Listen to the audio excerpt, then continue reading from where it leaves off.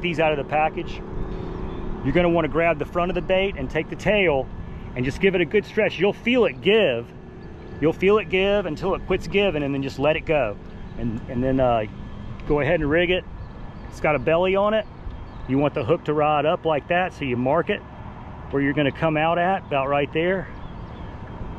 So we push it. It's important to squeeze the bait tight and pinch it and just push this right on through, right to where you marked it, where you think it's gonna come out, up on there.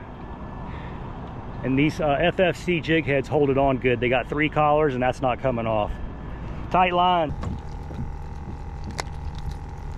See you later, buddy. Yep, good one. On the butt kicker, Fishbites. Check this guy out, guys. Look at this redfish. This well is beauty. done, brother.